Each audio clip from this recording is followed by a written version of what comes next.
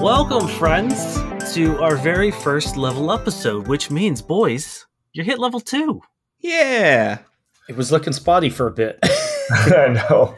It's exciting for me. It's a weird time to level up, I know, because you did just crash into a planet.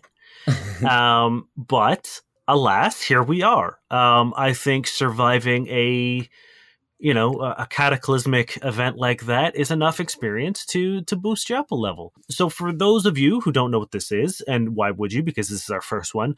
Our level episodes will be a crunch oriented, character creation oriented thing. So if you're interested in just the story and just the narrative, you don't have to listen to this. You can skip this and you will not miss anything. We will keep this completely narrative free and character development free outside of the actual crunch and numbers of character creation. Uh, but these will be kind of short. So if you're not ultra like disgusted by it, maybe give it a listen. It'll only be a few minutes. Yes, we're keeping these very brief.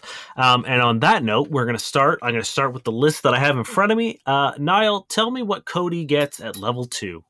So Cody gets a combat feat at level two.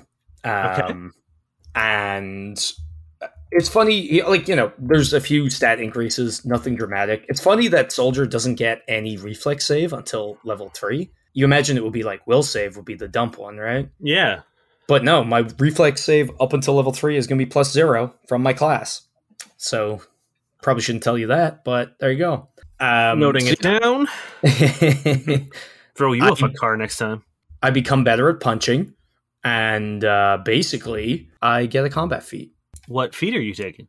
Now, this was very hard for me because I feel like there were some really good ones. Like, there's one where when I'm punching someone, everyone else gets a plus one to shoot the person I'm punching. And, like, you know, with Durin in the back fucking sniping, that would be great. But I wasn't sure how, I don't know. And then there were a few other ones, but I, I kind of went, I guess, maybe boring. I went with improved uh, combat maneuver disarm Okay. because I feel like it it one it leads up to a very fun feat later on that I can't wait to take, but two it just works for Cody and his like combat oriented like bouncer style, you know. Yeah. So I figured I figured it'll be fun. So I got improved combat maneuver disarm. So for those that don't know, it's a plus 4 to the disarm maneuver. That's awesome. Mhm. Perfect. Durin, what uh, what's or sorry, Terry, what's Durin getting these it's this okay. level? I try to embrace my character when we play as much as possible. Yeah. Um, well, the important thing is evasion, of course. Like any Beautiful. any good rogue class needs some evasion, which uh, means you know no damage from successful or from successful reflex, right? Yeah. And um, of course, I get my operative exploit this time around, and it took me a while. And I was going through the whole list, and there was one that just kept, you know, just it kept bringing me back. So the one that uh, that spoke to me was a holographic clone, What? which means I can like create a holographic holographic duplicate of myself. It- it's like a psychic projection, and pretty much it's a mirror image. That's oh cool. shit. And I can do it once per day, and it lasts a minute. And I have one d four images, and So you're Damn. basically Mirage. Yeah. Yeah. I was just like, I saw that. I was like, fuck, a free mirror image every day? Hell yeah. I can't not do that. Now That's I've got to cool. throw all my attacks at you. Yeah, well, you see, I'm a little squishier than everyone else, so I figured it was like, all right, let's let's lower those percentages to hit as much as possible. Yeah, I did almost kill you quite a few times last episode. yeah, yeah. Uh, I was at two HP at my lowest point, and I was like, okay, cool. Perfect. And final, last but not least, uh, Ryan, what is what's Merrick getting? Uh, Merrick finally gets to go full Jedi. I'm taking in, I get a Stellar Revelation, my first non given Stellar Revelation. Everything else is pretty standard, but what I get to do is take Gravity Hold, which just allows me to move items at will with my mind. Cool. Oh, damn. And then as when I'm attuned, it's a graviton um, Stellar Revelation. So next time I pick one, I have to pick a photon revelation. But when I'm attuned or fully attuned, I can use it to hold people. Fuck. Nice.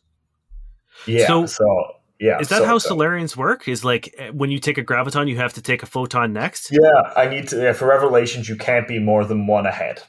Hmm. so Oh, you can only I guess that have makes one sense. more. Yeah, it's all the Solarians are all about ba- balance, Yeah. and the like the two revelations I have before, uh, they're Zenith revelations, which means to use them, I have to have three photon or graviton points and then blow them all to do that ability. But with Mhm. the normal stellars, it's stuff I can do all the time.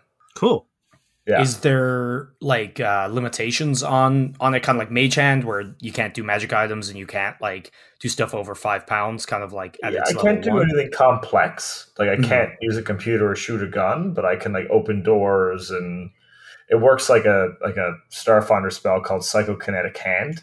Yeah, it's a it's a cantrip, but it's Yeah. um but once again when I'm attuned, it gets a little bit more powerful. That's awesome. Well, boys, Oh, I'm very excited to see what you do with your newfound abilities. We will see you in the next episode of No Quest for the Wicked. Thanks guys.